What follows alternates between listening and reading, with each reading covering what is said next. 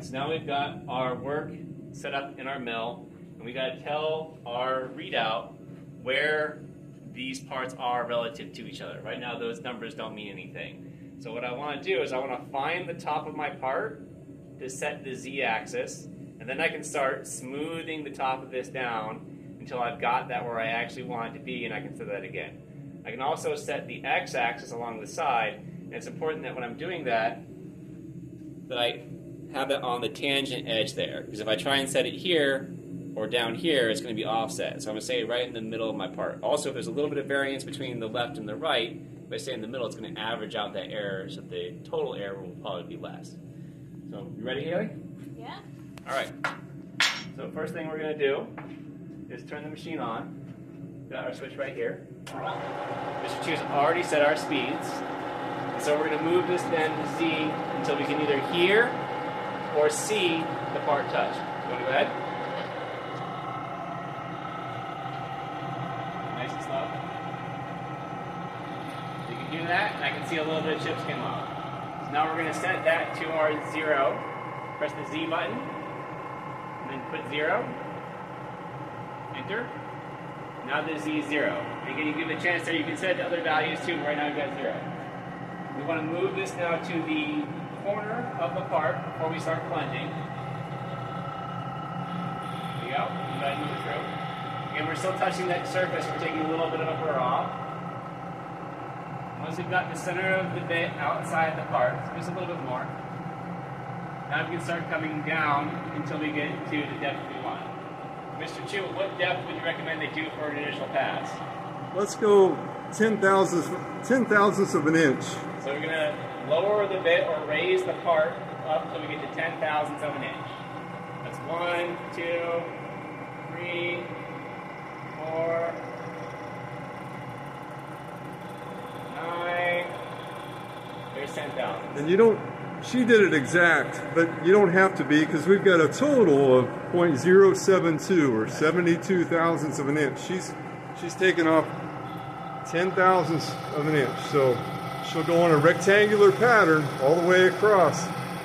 She's using the X axis right now to cut across the top.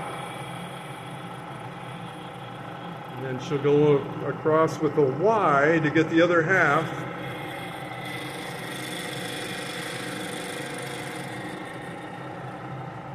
And then back with the X all the way across. So that's one layer, one layer towards that final dimension of 0.072. That's the extra stock we want to remove. And we can keep going.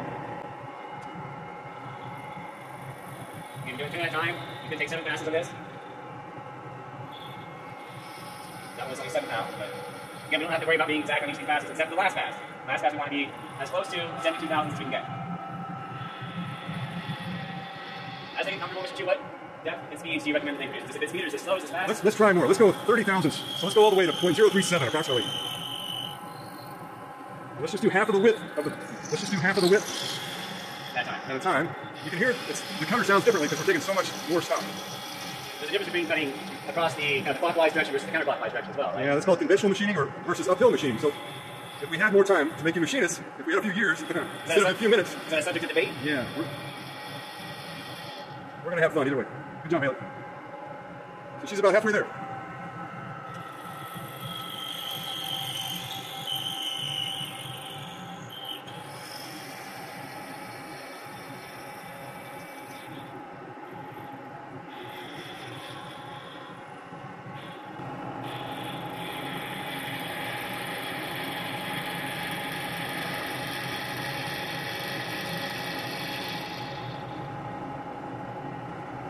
That last mark now?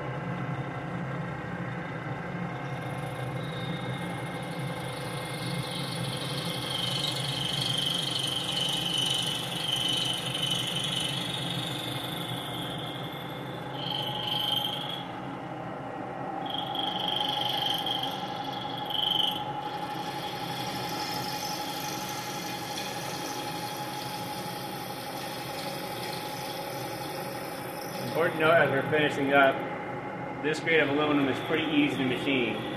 And so we're not using any uh, cutting fluid because we're doing fairly small material removal rates and relatively low speeds, which is the kind of the rate that we're removing material from the part.